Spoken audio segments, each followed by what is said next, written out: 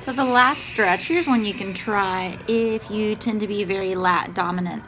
So you will rock back, making sure you're not arching your back. You can rock back all the way to your heels, really it doesn't matter.